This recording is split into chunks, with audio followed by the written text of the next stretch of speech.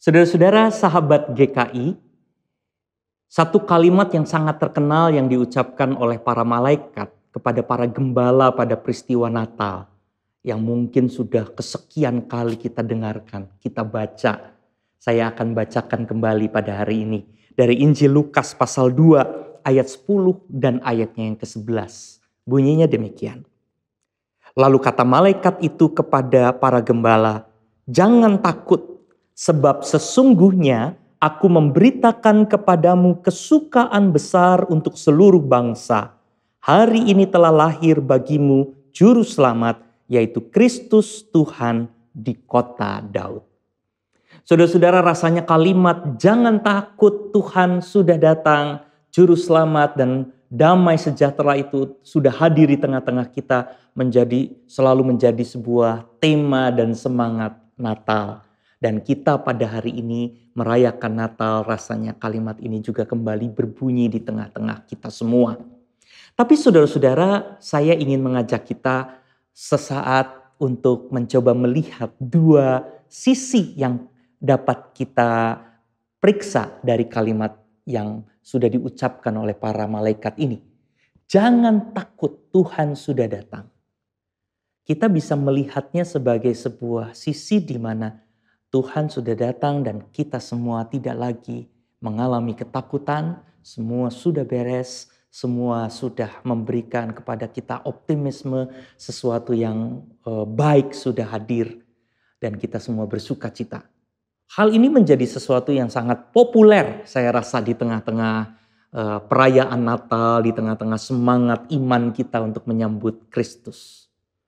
Tetapi ada sisi yang lain yang barangkali kita bisa lihat dengan cara sedikit lebih nakal, dengan sedikit lebih kritis.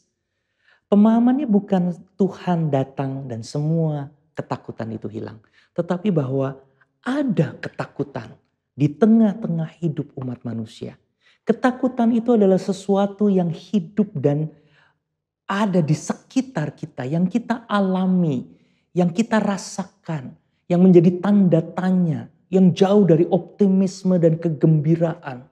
Sesuatu yang membuat kita tidak yakin pada banyak hal. Ketika para malaikat mengatakan itu kepada para gembala, jangan takut. Tuhan datang. Maka kita juga bisa melihat bahwa ini berarti Tuhan datang di tengah-tengah ketakutan. Di tengah-tengah persoalan-persoalan kita. Jadi saudara-saudara yang pertama lebih optimis, lebih bersemangat, Tuhan hadir dan sudah tidak lagi ada masalah.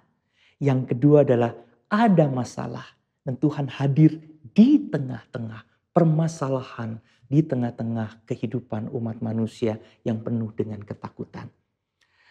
Sahabat GKI, saya tidak mau mengatakan yang satu lebih benar dari yang lain, tetapi saya ingin memberikan tekanan kepada yang pertama. Yang satu lebih populer, sudah sering kita dengarkan saya rasa. Dan tidak ada yang salah dengan itu. Tetapi yang kedua barangkali menjadi sesuatu yang sangat dekat dengan kehidupan kita saat ini. Relevan dengan apa yang kita rasakan. Rasanya kita semua sadar bahwa pandemi COVID-19 ini membuat kita ada di dalam kerentanan yang luar biasa. Ketidakpastian yang sangat kuat. Perubahan yang begitu banyak ketakutan dan tanda tanya jauh dari optimisme ada di tengah-tengah dan kita semua rasakan bersama-sama. Dari kondisi kesehatan, dari kondisi di mana apakah kita dapat melewati semua ini, dari kehidupan kita yang semakin sulit dan pergumulan-pergumulan yang sangat besar. Sahabat GKI, kita semua ada di dalam ketakutan. Berita Natal bukan hanya membicarakan bahwa semua masalah beres karena Tuhan hadir. Tetapi berita Natal ini juga bisa kita pahami bahwa Tuhan hadir justru di tengah-tengah ketakutan kita. Di tengah pergumulan kita. Tuhan mau bersama-sama dengan manusia yang lemah. Tuhan mau bersama-sama dengan kita semua yang takut. Dan di dalam keadaan itulah kita berupaya untuk belajar dan membangun hubungan dengan Tuhan, menemukan makna hidup, menemukan tujuan-tujuan hidup yang kuat, yang benar, belajar kepada Tuhan untuk bisa mengatasi persoalan-persoalan dan ketakutan-ketakutan kita. Peristiwa Natal tidak menghilangkan pergumulan kita. Tapi peristiwa Natal meyakinkan kita bahwa di dalam dan di tengah persoalan Tuhan ada bersama-sama dengan kita. Kita bisa terus belajar, kita bisa terus berharap, kita bisa terus meyakinkan diri kita dan meyakini akan pekerjaan Tuhan sepanjang kita juga mau berusaha untuk terus belajar dan membangun hubungan dengan Tuhan.